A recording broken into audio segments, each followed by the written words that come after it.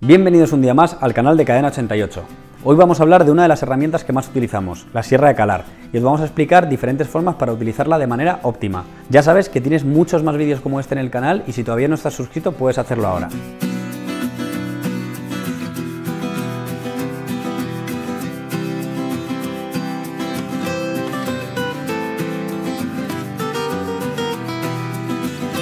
Como sabéis, hay muchas formas diferentes de cortar con la sierra de calar, pero ¿sabéis realmente cuál es la mejor manera de hacerlo?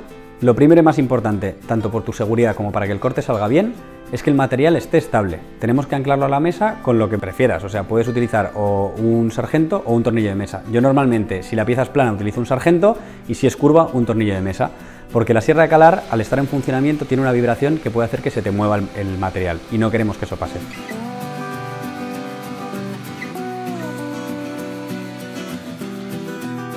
Así que una vez que lo tienes claro, vamos a por el siguiente paso. Para elegir una hoja de sierra es importante conocer qué tipo de anclaje utiliza el fabricante de la máquina. Este puede ser en forma de T o en forma de U. Esta nomenclatura se corresponde con cómo sea la forma del anclaje. En nuestro caso vamos a utilizar un anclaje en forma de T.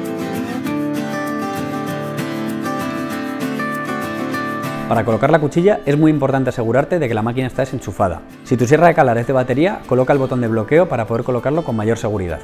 Normalmente, las sierras de calar en forma de T tienen una pestaña que con girarla a 45 grados hacen que puedas meter la hoja de sierra. Luego tienes que volver a colocar esa pestaña en su sitio para que se quede bien anclada. Tienes que asegurarte muy bien de que la hoja está bien puesta antes de poner en marcha tu sierra de calar.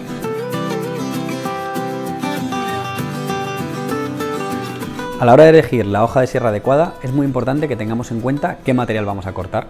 De esta forma podemos elegir entre una hoja de sierra para madera, para acero metal, para plástico, para PVC, para cerámica. De esta manera conseguiremos que el corte sea óptimo.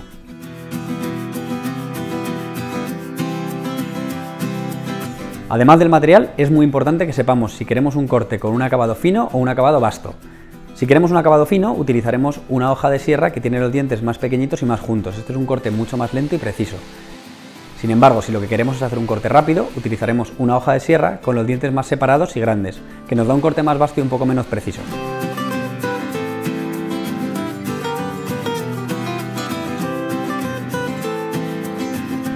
También es interesante saber qué tipo de corte vamos a hacer. Si vamos a hacer un corte recto, nos vale cualquier hoja de sierra que sea adecuada para el material. Sin embargo, si vamos a hacer curvas, yo te recomiendo que utilices una hoja de sierra orientable, ya que te permite mucha más movilidad para hacer las curvas porque es un poquito más estrecha.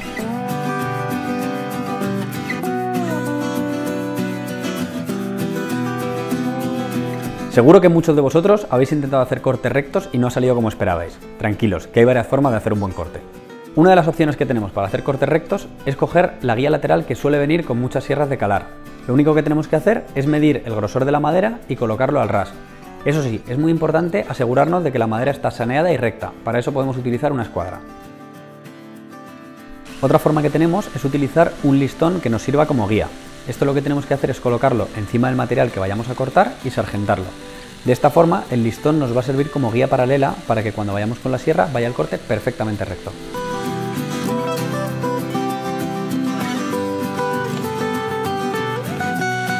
A la hora de realizar un corte debemos ajustar la velocidad de la máquina dependiendo de cada material. Ya hay muchas sierras que incorporan un sistema electrónico de ajuste de velocidad. Así, a materiales como cerámica o materiales duros utilizaremos una velocidad lenta, para plásticos o metales blandos una velocidad media y la velocidad alta para madera.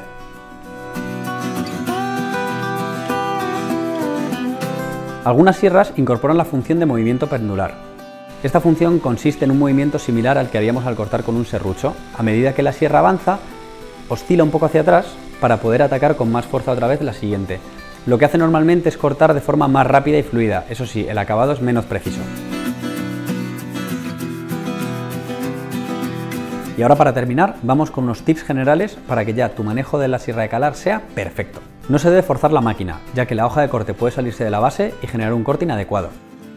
Para cortar plástico es recomendable utilizar una velocidad lenta media para asegurarnos de no derretir ni deformar el plástico con el calor que genera la sierra. A la hora de cortar se generan unas astillas en la parte de arriba del material, debido a que la hoja de sierra tiene los dientes de forma ascendente, por eso recomendamos colocar la parte visible hacia abajo. Pues esto ha sido todo. Ya estás listo para ser un experto con la sierra de calar. Y ya sabes que tanto la sierra como todos los materiales de los que te he hablado los puedes encontrar o en la página web de Cadena 88 o acercándote a una ferretería. Si tienes cualquier duda, me la puedes poner en comentarios o acercarte y preguntar a tu ferretero de confianza.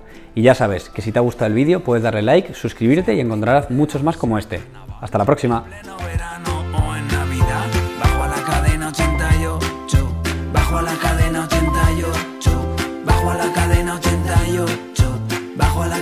Cadena 88. Y si lo quiero online. Entro en cadena88.com, entro en cadena88.com.